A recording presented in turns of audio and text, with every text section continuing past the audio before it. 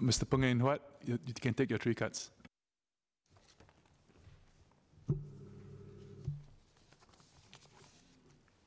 Sir, bike sharing is not a new concept, but the advent of mobile technology has allowed bike sharing companies to go dockless. What is new, really new about dockless bike sharing is the proliferation of indiscriminate bike parking.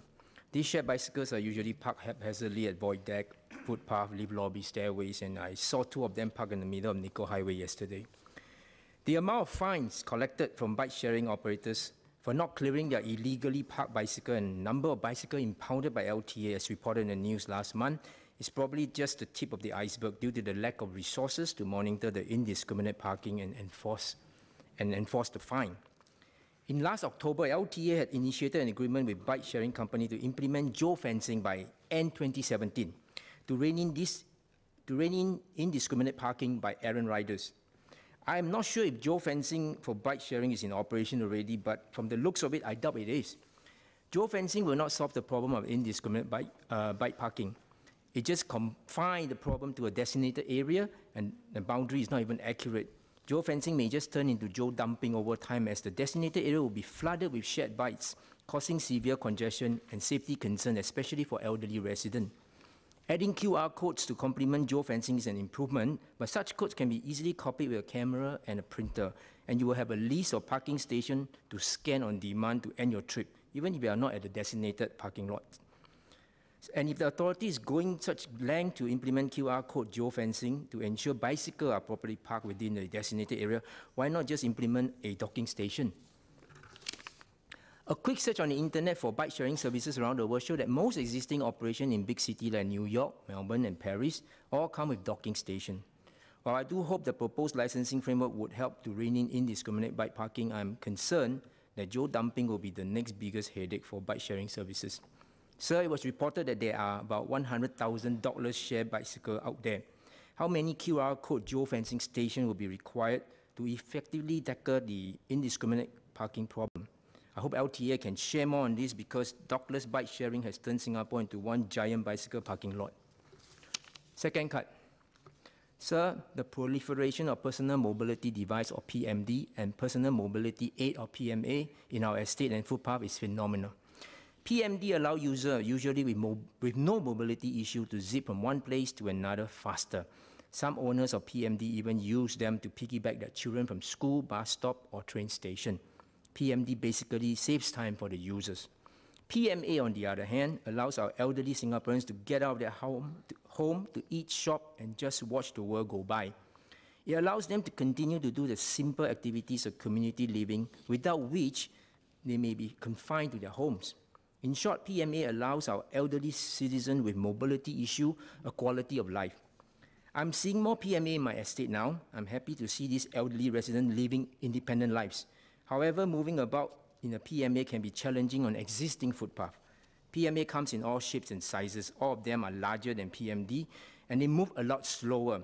The footpath along the roads are certainly not PMA friendly.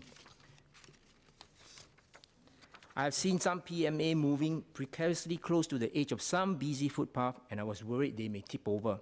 The footpaths from the nearest bus stop, train station, hawker centers, suburban malls, neighborhood center, etc., to the nearest HDB block or private estate need to be widened soon to accommodate this mobility aid. I also urge LTA to do another round initiative to mop up those remaining spots with barriers so that PMA user can have a smoother connection on our footpaths. Last, I also hope LTA can initiate a whole of government approach to accommodate PMA in our society, which in my view has given our elderly a fresh breath of life in their sunset years. Third part. Sir, I have spoken about making signalized junctions safer in the Committee of Supply debate in 2013 and again in 2015. Traffic lights are supposed to give all road users a sense of order, safety, and security. Our children are taught from young by their parents and in school to wait for the green man signal to come on before they can cross the road. When the lights are in your favor, it must surely mean it is safe to cross. But as it turns out, this is not a given, depending on the traffic junctions you are at. The presumption of safety is lost when signalized junctions are programmed with shared green time. Such junctions allow vehicles to turn when there are no pedestrian crossing during the green man phase. This, according to the minister, is to ensure smoother traffic flow on our roads. According to the ministry, there were on average about three fatal accidents and 40 injury accidents per year at signalized junction involving a pedestrian or cyclist and vehicle turning right during the green man phase. Although the ministry did not have the breakdown of whether this accident happened at what type of junctions, 90% of our signalized junctions are programmed with shared green time. I'm sure there are many unreported near misses as well.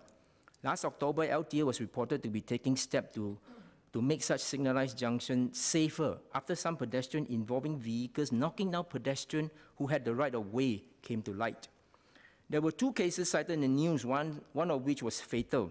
It was reported that the fatal accident happened at a signalized junction with shared green time.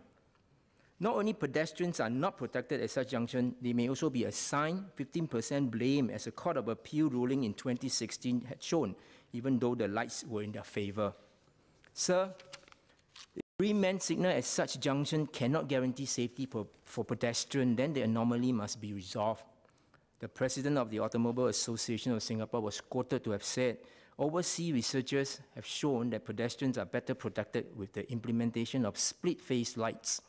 Statistics have also shown that there is a larger decline in pedestrian incident as well as multi-vehicle crashes when green man time is not shared. I truly believe that ensuring a smoother flow of traffic on our road will not cultivate a road safety culture. Enforcing a little patience by doing away with shared green time at signalized junction, on the other hand, will ensure road safety by default.